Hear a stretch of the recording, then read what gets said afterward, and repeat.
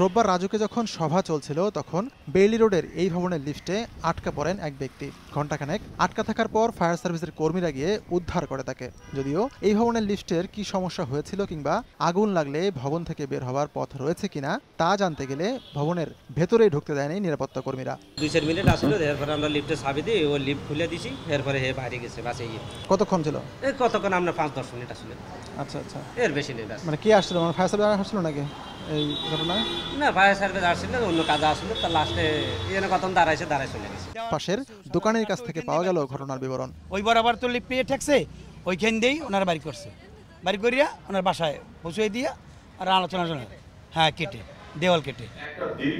আগুন সহ ভবনগুলোর নানা সীমাবদ্ধতা নিয়ে এ সংক্রান্ত বৈঠক শেষে দুপুর দুইটার দিকে ব্রিফিং করেন গণপূর্তমন্ত্রী। চব্বিশটি টিম ঢাকার প্রাথমিক পর্যায়ে বহুতল ভবনগুলিকে চিহ্নিত করবে।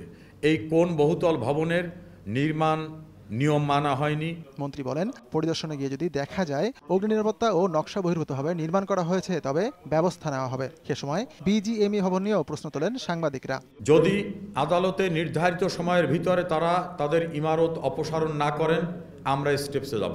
অনুমোদনের বাইরে কোনো অবকাঠামো থাকার কোনো সুযোগ নেই। রাজুকের এই অভিযানকে স্বাগত জানালেও আস্থা পাচ্ছেন না সাধারণ মানুষ। প্রতিটা বিল্ডিংয়ের যে আমাদের এই যে ফায়ার ইয়া মানে এক্সিটটা এটা তো একটু স্পেসটা বড় রাখা উচিত। আগুন লাগলে যেন ইমার্জেন্সি এক্সিকিউটের কোনো ব্যবস্থা থাকে। ঘটনা ঘটে গেছে তখন এটা নিয়ে একটা আলোচনা হয়। কিন্তু এরপরে এক সপ্তাহ দুই সপ্তাহ পরে এটা ডিসমিস। তারা বলছেন বড় কোনো দুর্যোগে নানা রকম উদ্যোগ নিতে দেখা যায় কিন্তু দুদিন পর সব চলে আগের মতোই। সে কারণে রাজুকের এই উদ্যোগ কতটা সফলতা পায় সেটাই এখন দেখার বিষয়। আতিকুর রহমান তামাল সময় সংবাদ ঢাকা।